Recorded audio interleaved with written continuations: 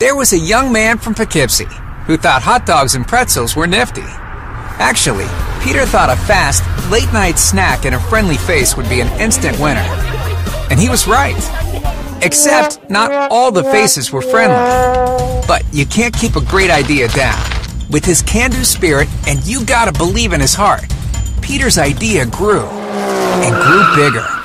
No longer with hot dogs and pretzels, but items folks just grab and go.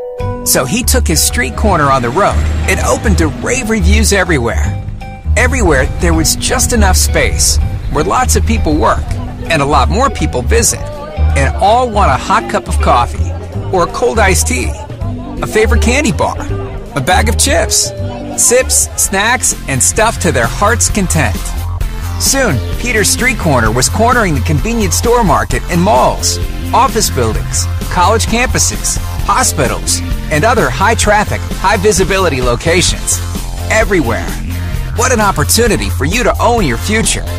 Easy to operate turnkey system. Not affected by economic changes. Strong back office systems. Location and lease arrangements provided. Full training and consulting. Well known logo and trademark. Popular product selection. Reasonable royalties. And still the friendliest face in the industry. If you can do and already believe, we've got a street corner waiting with your name on it.